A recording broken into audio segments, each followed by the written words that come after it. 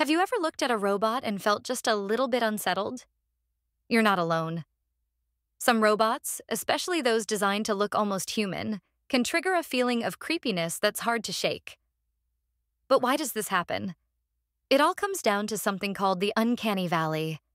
When a robot looks almost, but not quite human, our brains pick up on the tiny differences, like unnatural movements, lifeless eyes, or awkward facial expressions.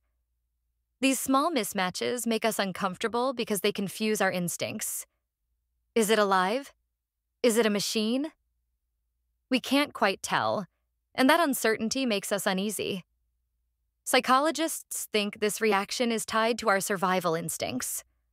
Our brains are wired to spot things that seem off in our environment, especially when it comes to faces. If something looks almost human but not quite, we might subconsciously see it as a threat. So, while robots are getting more advanced every day, designers have to walk a fine line. Make them too lifelike, and they risk creeping us out. But make them too robotic, and we might not relate to them at all. It's a strange balancing act, one that's shaping the future of how we interact with our mechanical companions.